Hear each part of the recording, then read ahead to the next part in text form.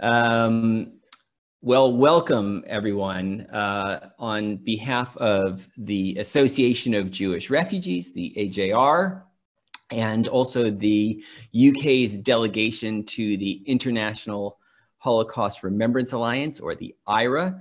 Um, this is the first of three weekly discussions, panel discussions on broadly on the topic of teaching and learning about the Holocaust in the UK. Um, for those who don't know me, my name is Alex Maws. I'm the head of educational grants and projects at the AJR and also um, part of my, my role uh, as it relates to today's event is I'm also a member of the UK delegation to the IHRA, where I've been on the education working group there for about the past 10 years or so.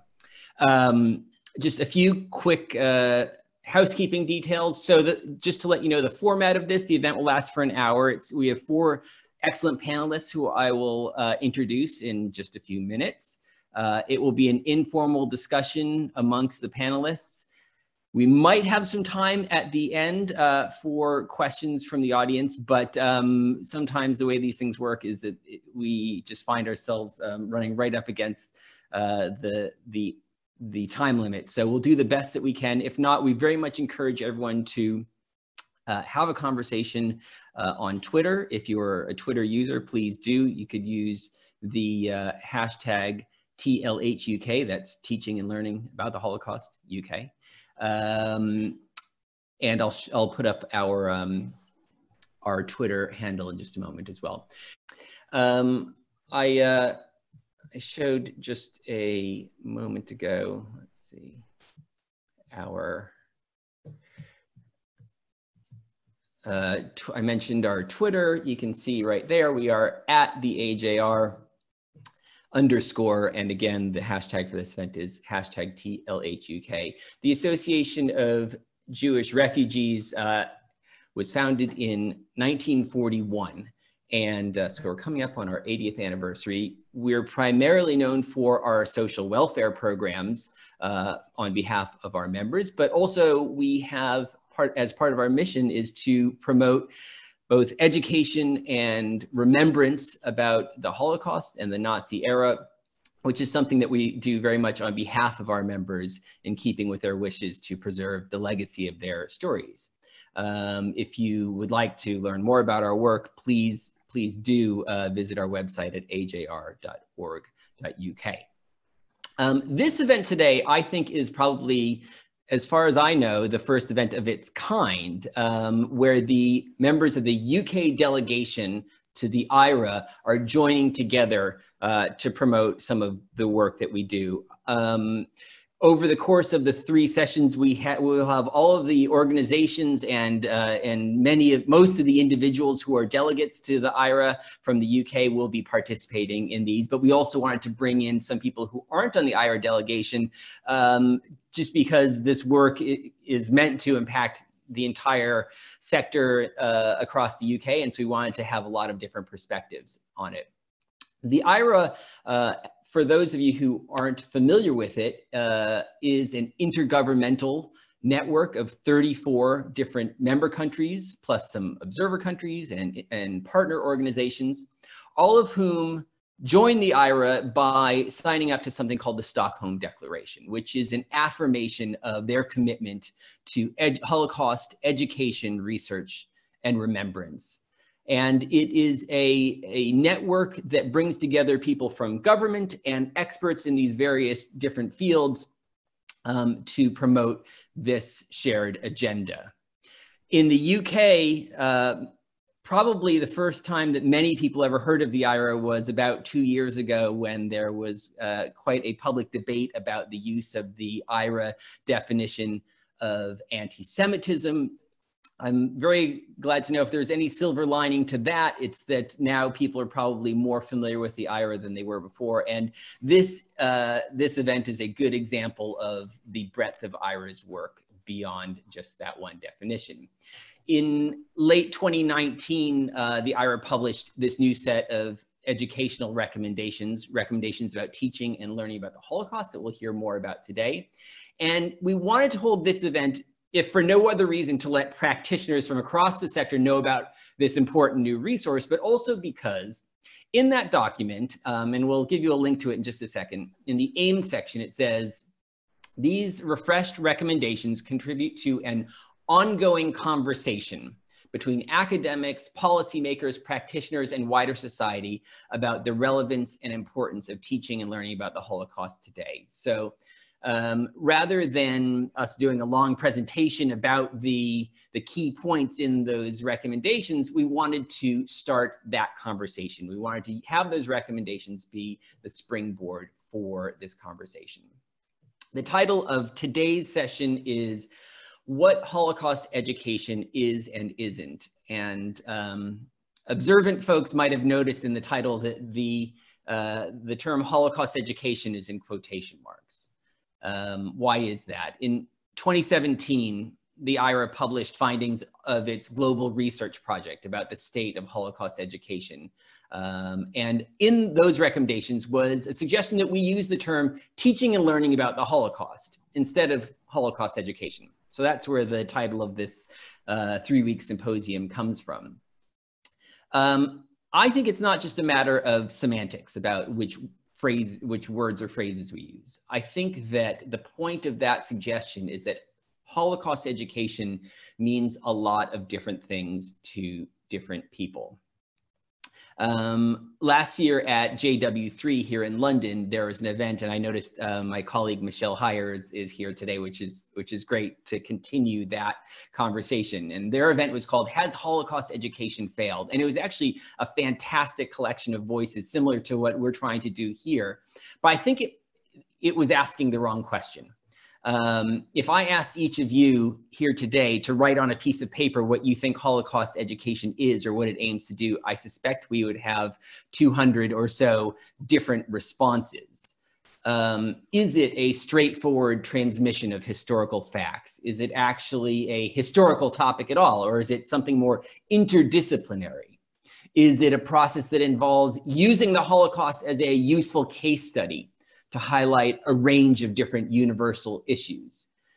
If so, which issues? Ones that are specific to genocide and fascism, or specific to European Jews, or more broadly about tolerance towards all people, no matter what if you um, look at the mission statements of different Holocaust educational organizations, you will see lots of these different perspectives are represented. So I don't even think necessarily in our field there is there is necessarily agreement you might have seen um, in, in the news, I don't know if you also have a Google search for anything related to the Holocaust. Maybe it's just people like me that do that. But there was a law passed in uh, the United States last week, and we'll hear uh, from a colleague from the US who um, might might have views on this later. But um, President Trump signed into law something called the Never Again Education Act, which uh, it, requires and promotes Holocaust education across the country. And it was noteworthy for its broad support in both parties, Republicans and Democrats there. And um, it's nice to see that people of different perspectives are all voting for it. And I'm sure they had good intentions, but I do wonder if they had the same intentions. Could those people who say on one side believe that there are fine people on both sides of a white nationalist rally actually think that Holocaust education means the same thing to those people who compared uh, immig immigrant detention camps to Nazi camps. Both of those recent public events highlight the need for more Holocaust education, but probably for very different reasons. So to improve what we call Holocaust education or teaching and learning about the Holocaust, let's start to try to understand what it is or what it isn't, or maybe what it should be or what it shouldn't be. And um, I'm really pleased to introduce our panel today. So joining us, we have Jennifer Ciardelli, from, who is the director uh, for the Initiative on the Holocaust and Professional Leadership at the United States Holocaust Memorial Museum. Uh, Jennifer is joining us today in part because um, she is just a fascinating person with great expertise on this topic, but also in her capacity as a member of the uh, United States delegation to the IHRA, she chaired the committee that created these new guidelines, uh, or recommendations, I should say, on teaching and learning about the Holocaust. Kat Kirkland is here from the Holocaust Educational Trust, where she's an education officer. Ruth-Anne Lenga is the program director and principal teaching fellow at the UCL Center for Holocaust Education. And Alasdair Richardson is the senior lecturer in education in the Institute of Education at the University of Winchester. And there his research focuses on young people's emotional engagement with learning about the Holocaust. So welcome to our panel. And I want to start by asking each panelist a um, sort of a direct question, and then we'll open it up to a broader discussion. And my first one, I think, will be to Ruth-Anne Lenga from the UCL Center for Holocaust Education. Um, so Ruth-Anne, do you think that these uh, oh, sorry, no, the sorry, I've got that wrong. I wanted to start actually with Jen Ciardelli. Sorry about that because um, she should give us a background on the, the recommendations themselves. Now, there, I've unmuted you. Um, so actually, Jen, can you tell us a little bit, before we get into the conversation, it would be useful for people to know about these IHRA recommendations. Uh, how did the project come about? And can you maybe give us a brief synopsis of what they cover? Yes, great. Thank you, Alex. Um, and thank you to the AJR for hosting this and bringing us all together. I think in these challenging times, it's just nice to see familiar faces and, and, and um, folks gathering for so good conversation about important stuff.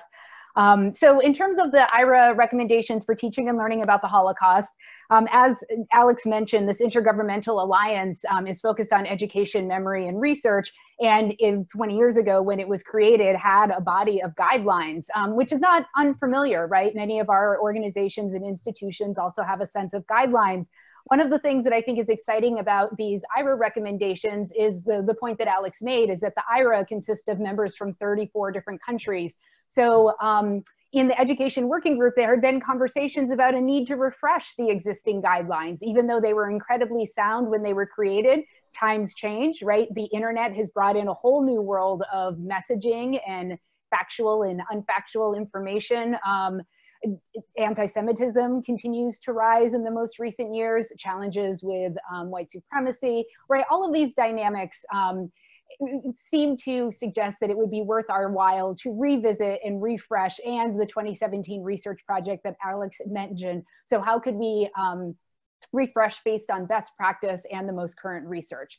So um, the core team um, consisted of representatives from eight different countries. And we did a teacher focus group, for example, that had representatives from eight more countries. And I mention that only because when we're talking about are there common concepts of what it means to teach and learn about the Holocaust, the very diversity of this multinational um, group that helped to think and create this together, I think is a resounding compliment to some unity in our field.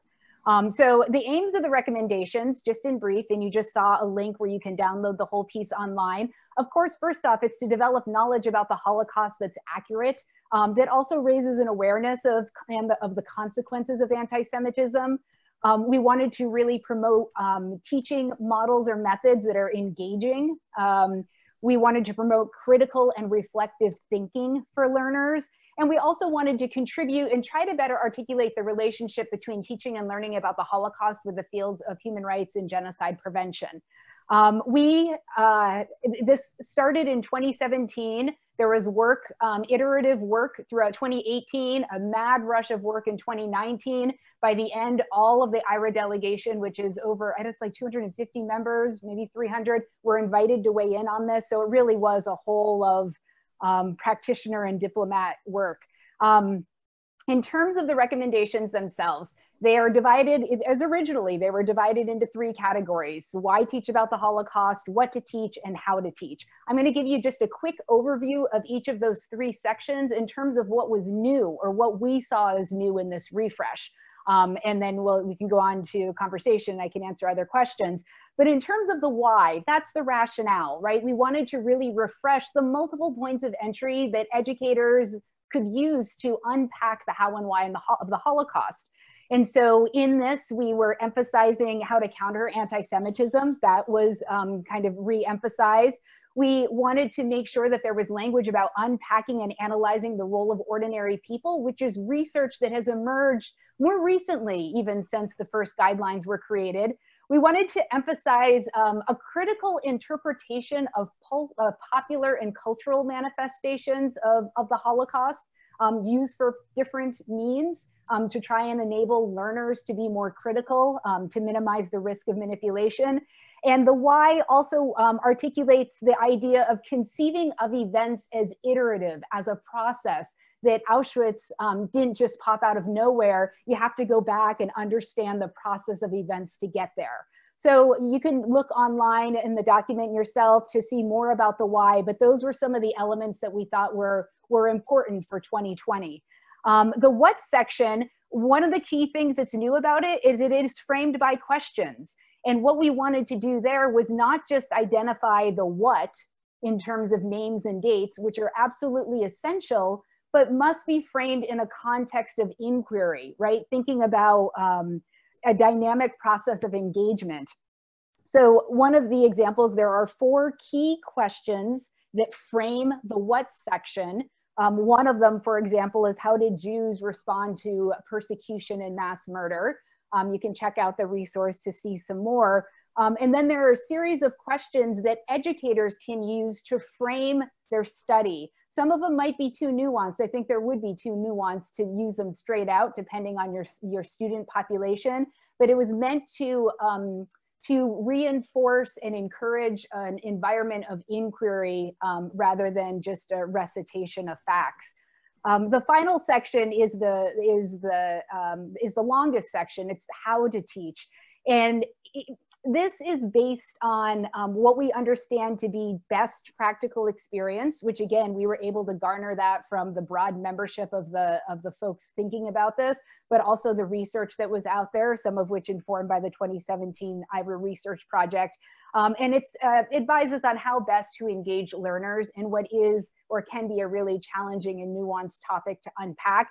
Um, an example of something that's new here again is um, in section 3.25, there's a, an emphasis on how to unpack the complicated nature of roles that people play. Somebody who's a, uh, a, a perpetrator might actually be a rescuer in another moment, could even be a victim, right? It gets complicated. And so how do you engage that without engage in that without overwhelming people um, is something new. I think again, that's emerged in the field. Um, and another example is the encouraging um, study at the local, um, regional, national, and even global level. Um, even though we've got these recommendations, we do recognize that not one size fits all and that people need to really think about what is important in their local context that can um, create relevance even as they think about um, the broader trends that actually you know create the unity and make this a relevant topic for many of us. So i think i will stop there and um, and answer questions or, or speak more as it comes up. That's great. Thank you so much jen. And i want to sort of pivot from the the what's on the page um, and then and also what is international to look at what happens sort of in practice uh, on the ground in the classroom and specifically here in the UK. And for that, I wanted to turn to Ruth-Anne Lenga from the UCL Center for Holocaust Education. And Ruth-Anne, I wanted to ask you, do you think that these IHRA recommendations that have recently been published meet the needs and the concerns of teachers? Do you do they acknowledge or do they help to address some of the issues that are raised in the, the research that I know that you've conducted at UCL? Uh, absolutely, I, I, think they certainly go a long way uh, to to address some of the critical uh, issues that we found in our 2009 research report with teachers um, and also our 2016 uh, inquiry um, with um, nearly 8,000 8, to 9,000 actually um, young people between the ages of 11 and 18 that we conducted. But before I start and just identify some of those things, I do want to commend uh, IHRA um, and uh, everybody involved in producing the recommendations because I think they they are truly fantastic and um, they, they really are going to support teachers and teachers are going to need that support and that that's something we really do realize.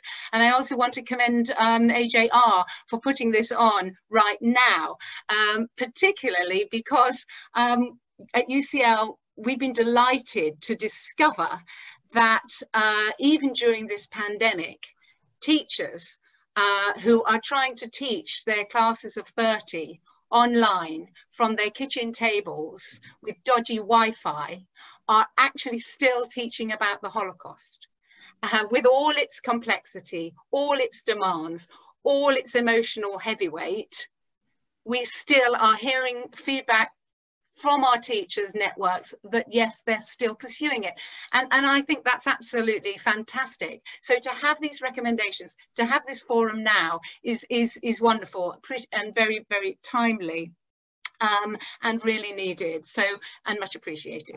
So back to the question. Well, yes, I, I think in many ways it does. And, and, and first of all, I, one of the things that, that is really appealing is that the recommendation document does begin with, with its title of being teaching and learning about the Holocaust as opposed to Holocaust education for some of the reasons um, that Alex uh, put forward in the beginning of its amorphous and, and ill-defined, perhaps, um, definition uh, that nobody quite knows what we're actually talking about in Holocaust education. Is it with a lower E or a capital E? Does that make a difference? So teaching and learning about the Holocaust perhaps is much more clearer about the what, the where, the why, the how, and are we achieving our goals when we teach uh, and when we learn about the Holocaust. So I think that's a refreshing change. So thank you, Jennifer, uh, for that. The second thing is it's really um, it's really um, encouraging that it it didn't go down the line, which I, I understand is tempting, to give us a do's and don'ts in mm-hmm. Holocaust, in teaching about the Holocaust. Don't do this, don't do that. It isn't the tone and the manner in which it's, uh, the recommendations are put across are sort of respectful of the teacher's craft and the teacher's skill and decision uh, and, and understanding of their own students and education and what young people at 14 can grapple with. Um, so, so I like that. The, the, the third thing is, is this inquiry-based approach, which I think is um, a really uh, open and an investigative way of looking at uh, and inquiring about the Holocaust. So that whole tone is about what we can discover, what we can grapple with, what we wrestle with, what we can glean, what we can learn, and from an informed position, what meanings we can make, what possible meanings we can glean from this. So I like that. The other thing that I think is critical is, is this aspect of complexity. Um, I think from our from both research projects, we were concerned that perhaps young people are coming away with a rather limited, simplistic understanding of deeply complex things. And perhaps there's a perception that maybe young people can't uh, reach to those complex ideas. But I think what the recommendations are really encouraging teachers to do is to not be afraid to teach. In fact it actually says don't be afraid to to to grapple with this. Don't be afraid. Your young people can work with it. Follow some guidelines. Follow these recommendations. Um, and and it's possible to unpack some of the complexities. The complexity complexity for instance that um, it's not a simple perpetration here um, we found in our research uh, when we uh, surveyed young people that 50.7% of all students across all year groups appeared to believe that the Holocaust was solely attributed to Hitler. And 20% were also thinking it was Hitler and other Nazis. So there is a simplistic idea that perhaps there's just one perpetra perpetrator in this crime when actually the far more profound and deep rooted meaningful educational understanding is just the is just how complicit uh, people were to to this crime. And how as jennifer's put across the ideas of bystander collaborator perpetrator they're not clear-cut uh, simple ideas they're fluid you could be both. You could be a raging anti-Semite, but you could rescue somebody. and young people, I think, are able to grasp this. We need to scaffold it and we need to help, but they can reach it. They have to reach it um, because that is what Holocaust, teaching about, learning about the Holocaust should be about, trying to engage with that complexity. Um, and then the important thing about the local context that Jennifer spoke about. We found, for instance, that young people had a very limited uh, uh, understanding, for instance, of Britain's role in the Holocaust. Um, many feeling that uh, Britain, that's why Britain went to war to rescue the Jews in the Holocaust, uh, or that, uh, that the British government didn't know what was going on with the, with, with the Jews in, in, in Europe. And so it's very important, I think, that uh, young people do get a grasp of their own countries and their national um, role and how that their country is dealing with coming to terms with the past and um, and recording that narrative. So those are some of the important things. And um, crucially as well, and, and, and, I think the recommendations highlight it uh, to, to an extent, is, is the importance of uh, helping young people learn about who are the, who were the Jewish people. Um, again, we found that uh, young people had very limited understanding of who the Jewish people are, were, and, and were clinging on to misconceptions. And when you look at some of the textbooks that are in our classrooms, um, one can perhaps understand why um, some of these ideas, where they're, where, where, you know, where they're reinforced. Um, because we, we've done other research with textbooks and we can see problems there that are, you know, apart from inaccuracies and things like that, but the portray, portrait of Jewish people isn't a human one. It isn't humanizing uh, the, the Jewish people. So images of Jews, often in these textbooks, which are about five pages in a history book, focus on Nazi propaganda, stereotype cartoons, and then some perpetrator narrative, and then large pictures of dead bodies coming out of the crematoria. So I think what's coming out of the recommendations is the need to humanize history and to, to, to, to do uh, um, studies beforehand about who the Jewish people are, the long history of anti-Semitism is crucial. And um, so we, we feel very much that the recommendations do touch on those critical things and also um, do some offer some good advice on how to teach the Holocaust, but perhaps that's something uh, we talk about a bit later.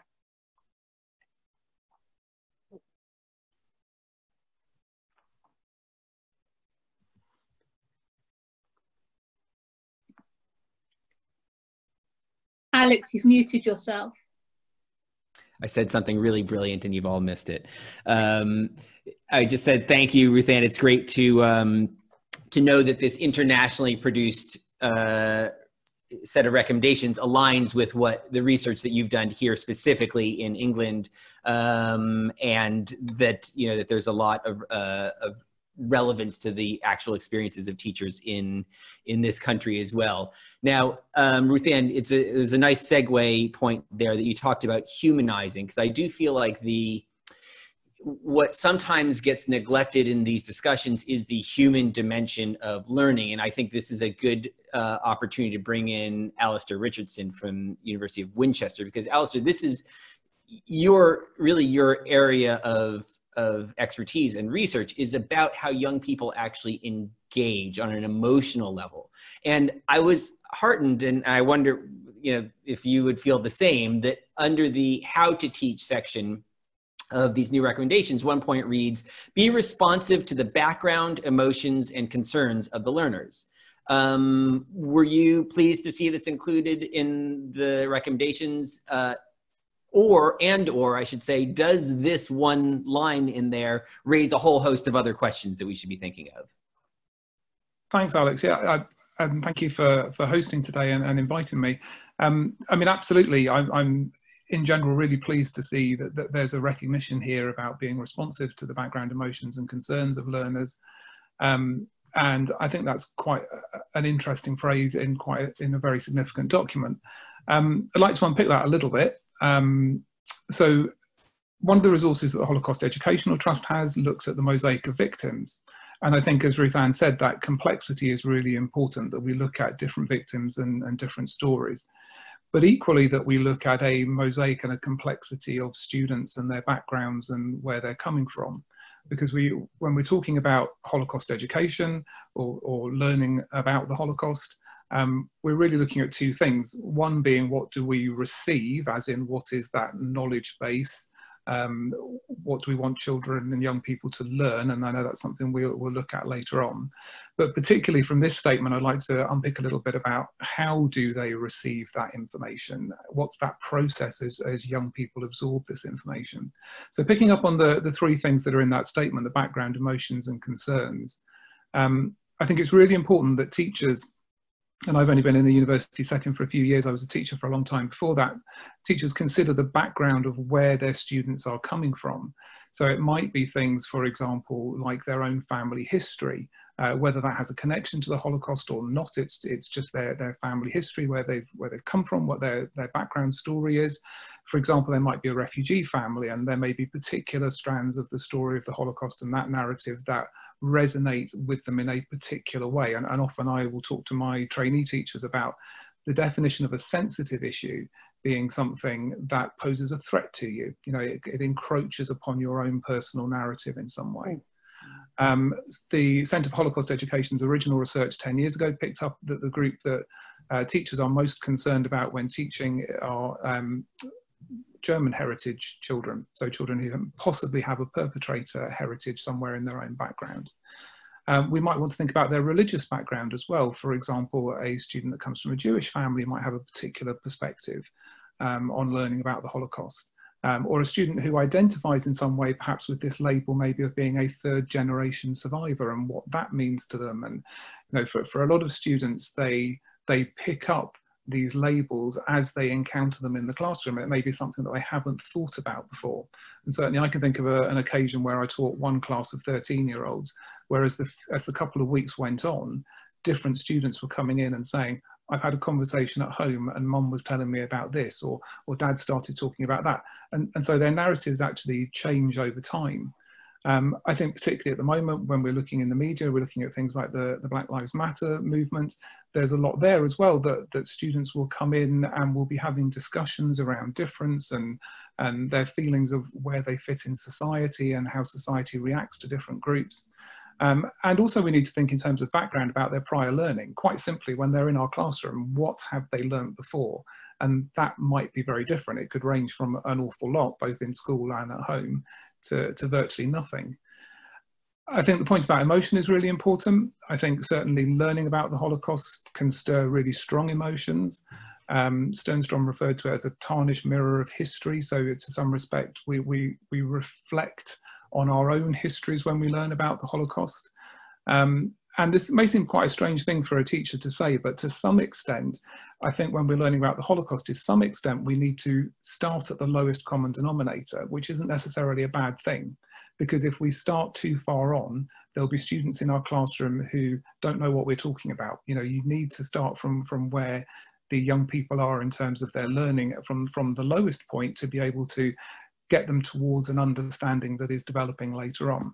Um, in some respects, I'm kind of making a call, I guess, for some sort of slow pedagogy when it comes to learning about the Holocaust, that this is something that can't be rushed according to the demands of our mm scheme of work, that we need to start where the children are and go at the pace that the children are at, not necessarily achieve everything that's set out in our scheme of work just because it says so. Um, because fundamentally, we need to be really careful that we're not traumatizing young people yeah, that they don't make the academic retreat. They don't just go back to the to the facts and ignore the feelings because um, that's the easiest thing to do, um, or that they don't switch off from it completely. And I, I, know a number of people whose children have done that and said, you know, I, I don't want to talk about what we learned at school today, um, because they they just internalize it and they they can't express it. and on the other end of that, we need to make sure that children aren't sort of over interested and, and titillated by what they're seeing and, and have a sort of a morbid fascination in what they're learning about. It's Fundamentally, I would say to teachers, if, if you look at a resource and think, should I be using this resource, the, the answer is probably no. Um, if you're having that debate about is this appropriate or not, um, and I know the USC Shoah Foundation have often referred to their online testimony archive as being a walled garden. Um, and I think that's particularly important. That's always how I viewed my own classroom when I'm teaching about the Holocaust as being a walled garden. And I think there are issues there that we might explore later on around how you wall that garden in a pandemic. Um, and I know that uh, people like the USC, um, like the UCL Centre for Holocaust Education and Holocaust Educational Trust have very carefully curated resources um, that enable that wall garden to still happen when the resource is being used out in the world without a, a, teacher or professional in front of the, the children the third point about concerns, I think, is really important with, with young people having concerns. What space do we give them? You know, I think from my own research, one thing that I've found is that young people very rarely get the chance to sit and talk about how they feel about what they have learned. What do I do with this information? I'm a teenager. You're, you're talking to me about genocide. You're talking to me about mass murder.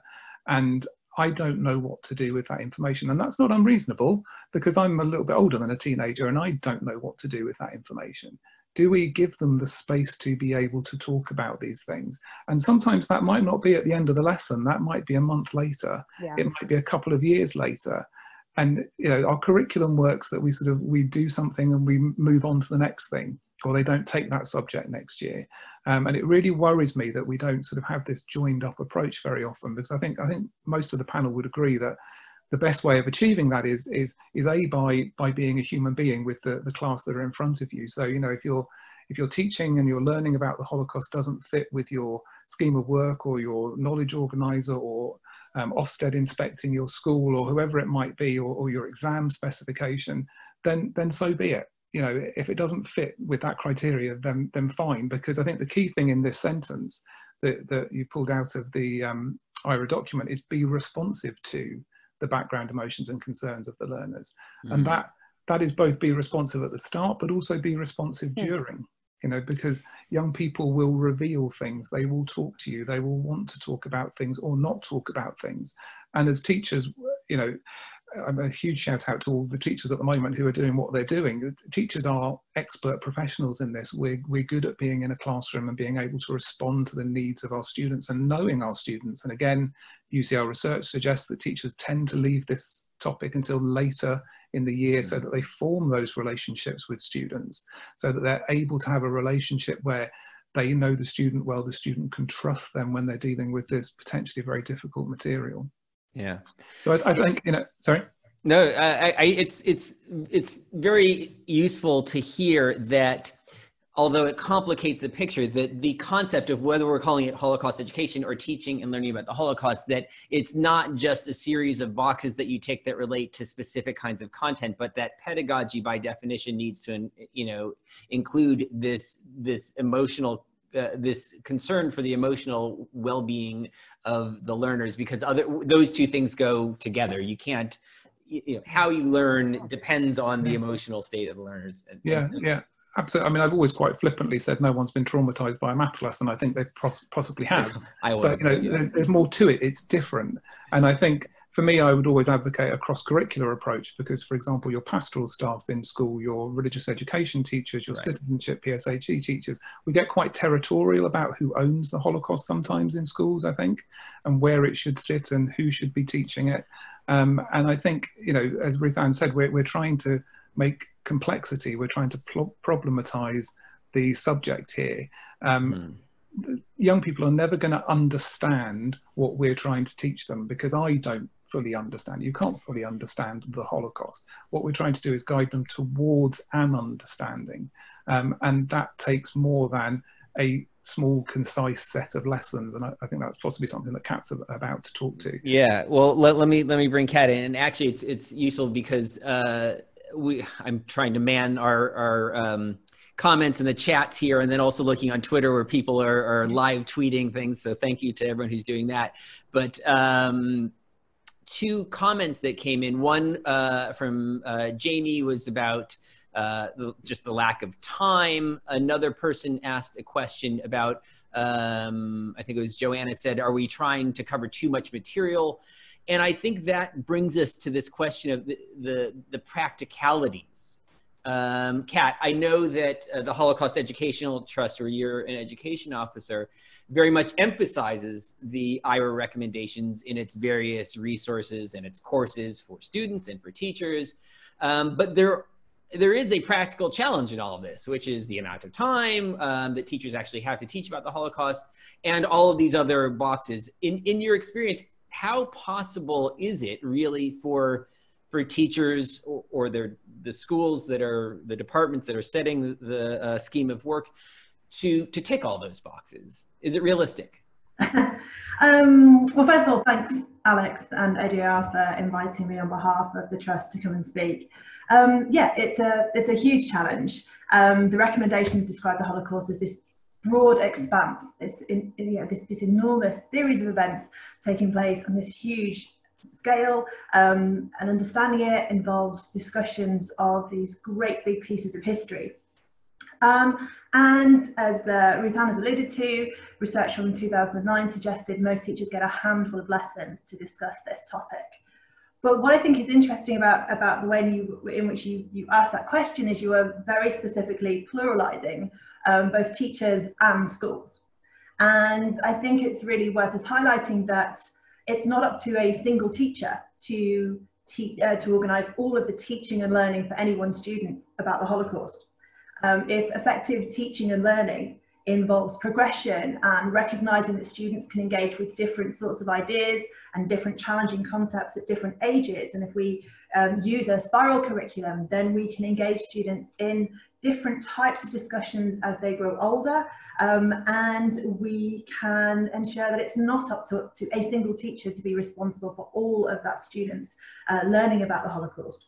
So at the Trust, as, as many of you will know, we have provided um, two schemes of work, one which is designed for pupils who are in primary school, um, which looks at pre-war Jewish life, the anti-Jewish laws, and the Kindertransport. And the Kindertransport focus um, lessons focus on the story of Vera Schaufeld, who I believe is uh, is watching this afternoon, which is great. Um, they don't take the students into a study of the Holocaust itself, but they provide an excellent context for the students to pick up those stories and elements of them when they reach secondary school. One of the recommendations in the, um, the new document highlights the importance of interdisciplinary learning and we encourage that in our secondary scheme of work which is framed around cross-curricular approaches to teaching about the Holocaust. So a series of lessons which teachers of different subject areas, particularly um, RE, history and citizenship can dip into and teach according to both their own strengths but also to where the topic fits within their own curriculum and we have additional opportunities for teachers um, of, in, uh, English and art and drama also to teach about the topic through their own specialisms. So ideally in a school, a student might be taught by many different teachers who are teaching different elements of either the Holocaust or the ways in which it can be understood in different subject areas. But of course, this is entirely dependent on collaborative planning and teachers being able to communicate together uh, or with each other and plan together, which is another challenge. Um, and of course, our providing resources doesn't necessarily resolve the greater challenge of how much time it takes to explore such a, a challenging topic. So you asked about my, my experience and um, my, my greatest uh, pleasure at the moment in my, in my job is, is speaking to teachers and about their experiences of teaching and, and what works well for them. And there's really three common themes in how those teachers are able to, to, to teach in a way that they feel is effective. Um, not just in their own classrooms, but also to lead teaching about the Holocaust within their own schools um, particularly teachers who take part in our annual teacher training course in Yad Vashem, speak really highly of their colleagues and the ways in which they are working together. And there seems to be three common themes in, in enabling teachers to tick all the right boxes by working together and, and covering this, uh, this broad expanse but in useful ways according to different subjects. The first is that um, there's a member of senior leadership who has in some way bought in, for want of a better phrase, into the idea that this is important So if there is somebody in a position of leadership in the school generally who has acknowledged the importance of teaching about the Holocaust, but also recognises that it needs to be done, to use Alasdair's terms, in, in sensitive ways, um, then that enables teachers to, to work more effectively.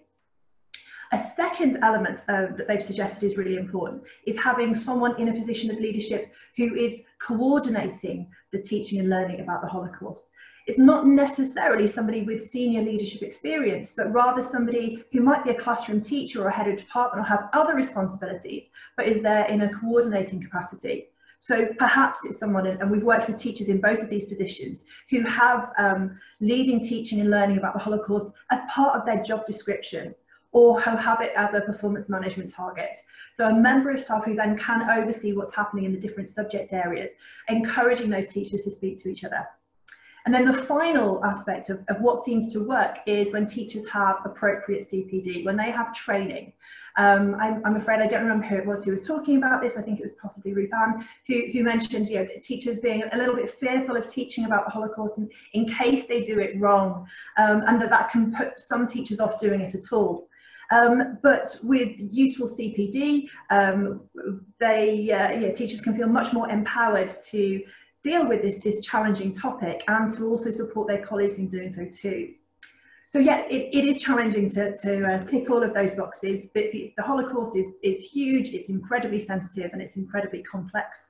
Um, but uh, we do work with teachers who manage to navigate those, those challenges using resources that allow for progression and working together with this interdisciplinary or cross-curricular approach to, to teaching about the Holocaust at different times. That's great. Thank you so much, Kat.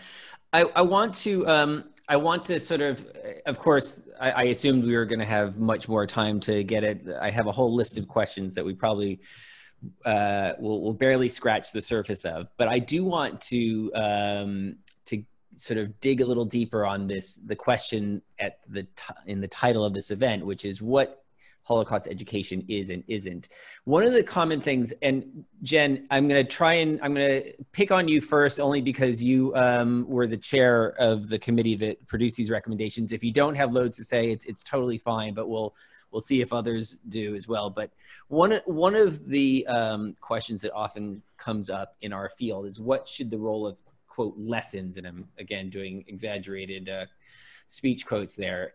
It's worth noting that the IHRA recommendations actually barely mention the idea of lessons that are sort of intended to be part and parcel of teaching and learning about the Holocaust. There is one bit in a section under human rights education, so how uh, learning about the Holocaust can be incorporated or go alongside learning about human rights. And it says a clear distinction should be made between the Holocaust and the lessons that can be drawn from it. The past occurred in a particular way for particular reasons, and oversimplification of historical facts or broader concepts to emphasize particular, quote, lessons serves neither learners nor educators. Educators should be especially cautious in imposing contemporary knowledge or values on those in the past. So I guess, Jen, the first question is, you know, why did you feel the need to put that in there? And do you have any other comments about that just from your own experience? Yeah, am I? You're on. Thank you. Um, no, I think that it goes back to, I mean, the title of this course and what Ruth-Anne was saying about what Holocaust education, and it means so many different things to many people. And I think that phrase actually captures what the spirit of the group thought, which was we really need to maintain the integrity of this historical moment. There was nothing like it before and nothing like it after in terms of its specificity, its time, the way it specifically unfolded. And I think what we do in an educational realm is unpack that experience. And because we're humans, um, we bring to it our our relevance and we think about meaning based on the things that are going on around us. But I, I think it's dangerous if it if it i mean i think this is what we were thinking. It's dangerous if an educator enters it trying to teach a specific lesson right? We teach the history and by being responsive to the students and engaging i mean the power of well told history holocaust history is that it sparks conversations and discussions and reflections that get to the heart of what it means to be human and what it means to function in or out of a mm. human society and so how do we create space based on the historical integrity of what we know and the testimonies um, how do we allow that to create the space for honest um, eh, response and honest grappling with the complexity of this history. I think that's what we were trying to um, help frame out.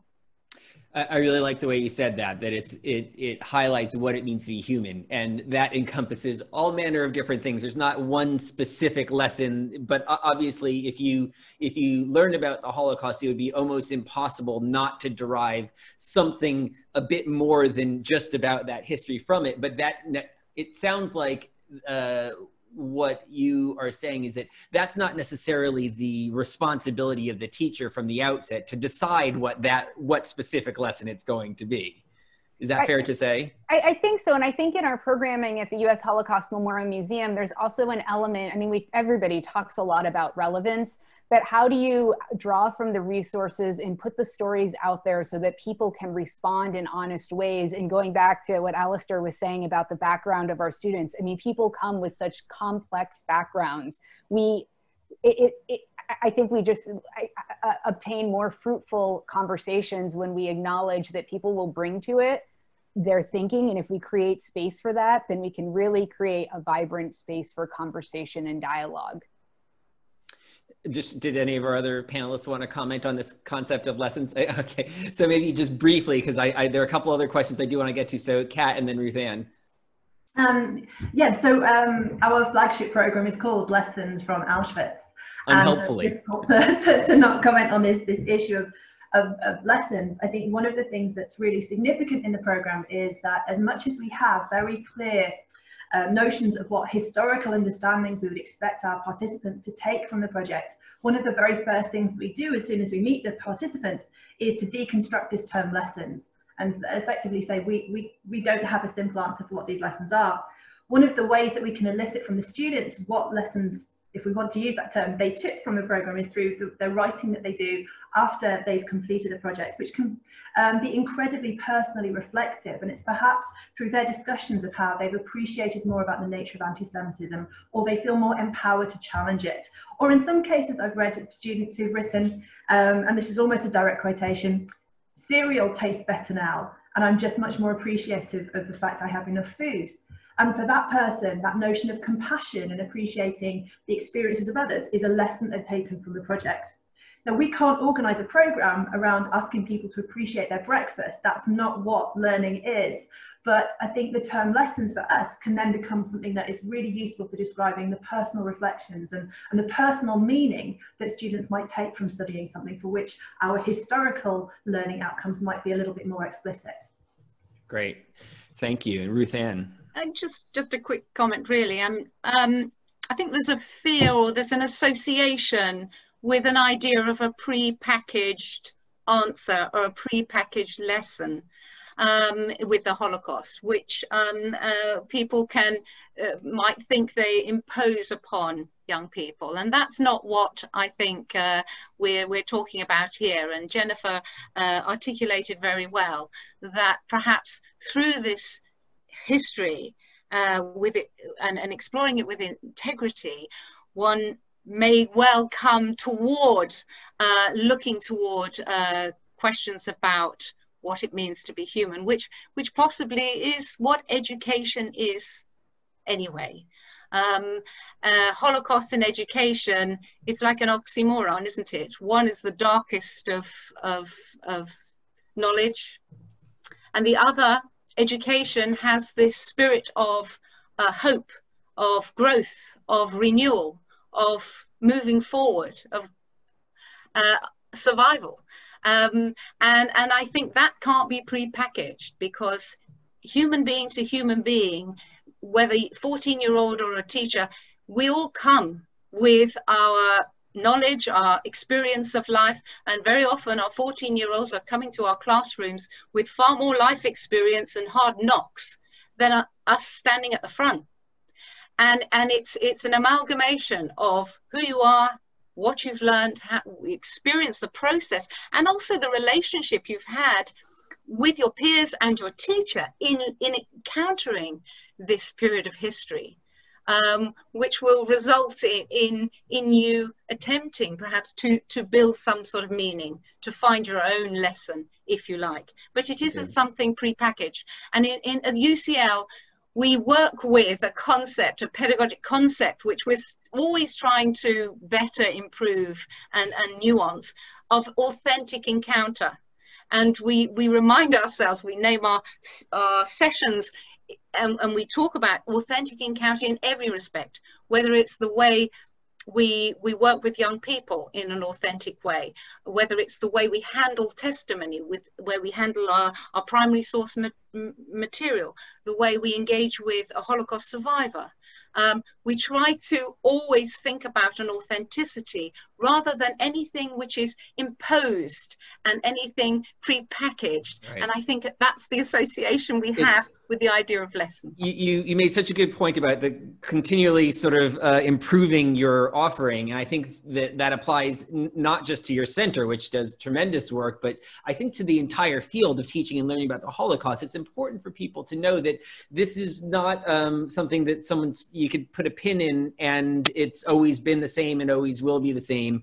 You know, you and I, I've been in this field for 20 years almost and it you know our understanding of good practice is very different now than it was then and that's a good thing because of people like you because of people like Alasdair you know the work that Jen and Kat are doing at their centers you know to in, constantly improve our understanding of what works what doesn't and as history itself new new information is constantly being revealed to us and we need to adapt to that I'm getting so many interesting co comments here uh, in the chat function. I, I'm afraid I don't have time for all of them. I did want to um, say, let's see. So Fran up in Manchester asked if there would be any discussion about learning outside the classroom. And I'm very pleased to say that, yes, next week we will be um, having a separate panel on Britain's Holocaust uh, mu museums, memorials, and archives. Um, and there and so I, if you haven't already signed up for that one, you know, please, please do. I hope we can very much continue this conversation.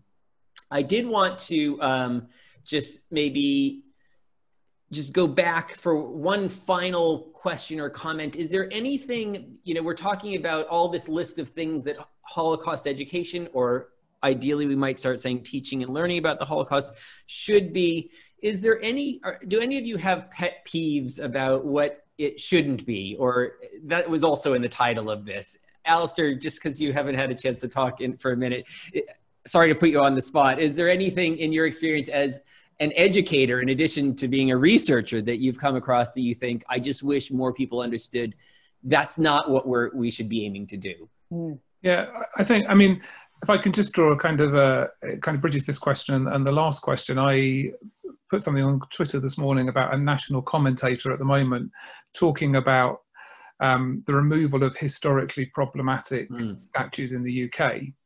And yesterday, a member of parliament talked about Auschwitz being in Germany as a reminder to Germany, and people were very quick to point out that it is not in Germany, it is currently within, within the borders of what is currently Poland, and that that's very problematic.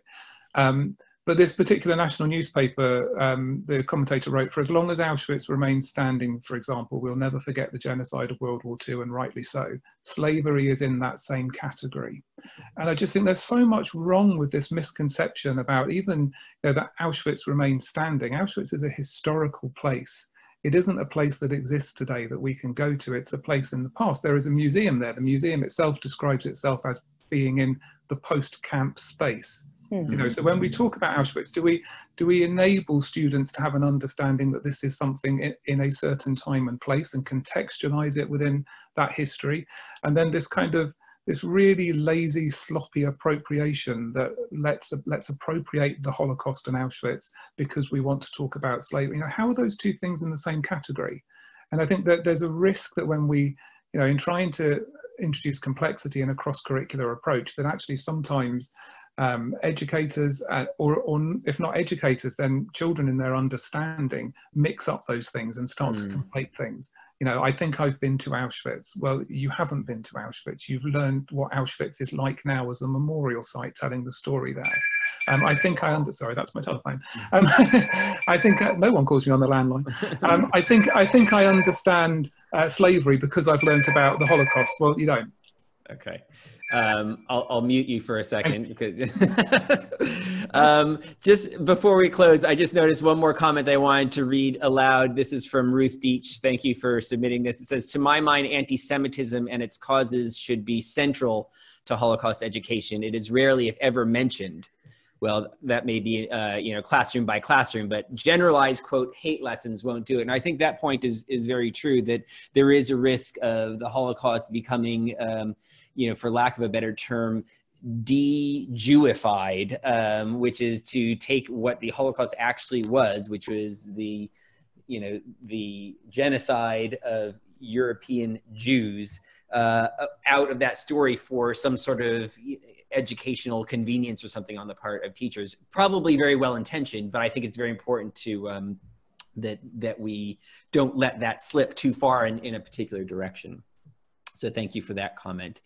Um, okay, I promised that this would be an hour long session, and of course we have gone over. I thank everyone for their, their patience, and I also want to uh, greatly thank our, um, our panelists. So thank you to uh, Jen Ciardelli, Kat Kirkland, Ruth-Anne Lenga, and Alasdair Richardson. I'm going to unmute all so we can have a, a, a round of applause. Probably won't sound very good. Thank you. Um, there we go. We don't, we don't get um, Hi, Eva. thank you. Uh, thank you all once again for for joining us. We will be back next Wednesday for our, the second part of this series, which will focus on museums, memorials, and archives in the UK. So I hope that you can make that. And um, do continue this conversation on Twitter. We're at the AJR underscore if you want to do hashtag TLH UK, teaching and learning about the Holocaust in the UK. Um, I would really love to just, you know, hear your reactions to this conversation and, and continue to, uh, to have that debate and the conversation ongoing. So thanks again to everyone and see you online again soon, hopefully in person soon.